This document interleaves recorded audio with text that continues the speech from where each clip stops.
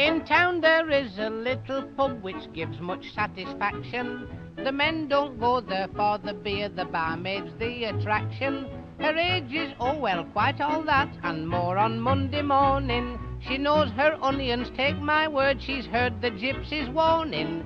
She lays on powder thick as crust, I've smacked her cheeks, and what a fuss. I couldn't see her face for dust, the barmaid at the Rose and Crown.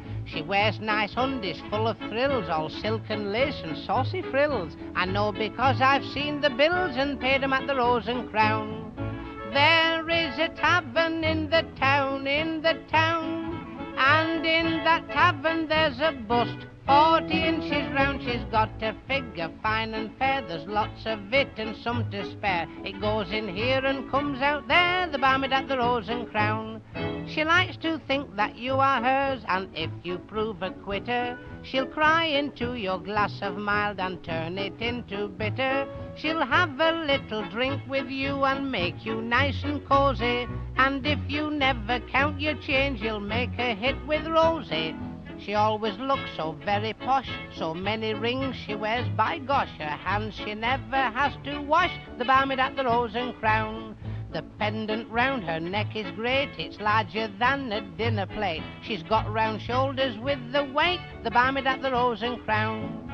There is a tavern in the town, in the town, and in that tavern there's a lass in a glittering gown with jewelry. She takes the bun, her earrings weigh quite half a ton. She lets me swing on them for fun, the barmaid at the Rose and Crown. Now if you want her to tease and round her waist you give a squeeze, you'll hear her shout, not this side please, the barmaid at the Rose and Crown.